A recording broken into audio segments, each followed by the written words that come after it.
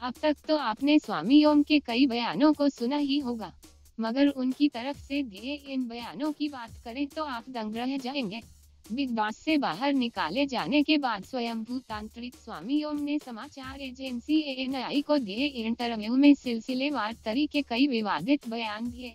विवादित बयानों की कड़ी में स्वामी ओम ने दावा किया कि सलमान खान ने उनसे शो में वापस आने की सिफारिश की है।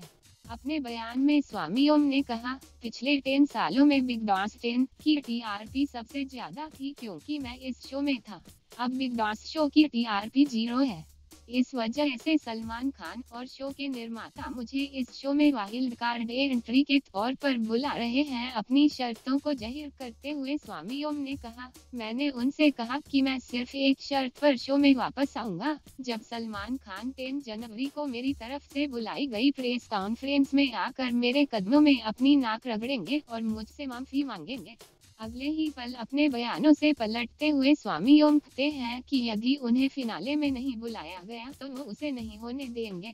उन्होंने कहा, मैं वहाँ जाकर सुल्तान सलमान खान को मंच पर ही पीटूँगा। स्वामी ओम ने एएनआई से कहा, सलमान गद्दार है। मैं ट्वेंटी जनवरी को एक लाख लोगों को अपने साथ लेकर जाऊँगा और उसे स्टेज पर ही मारूँगा।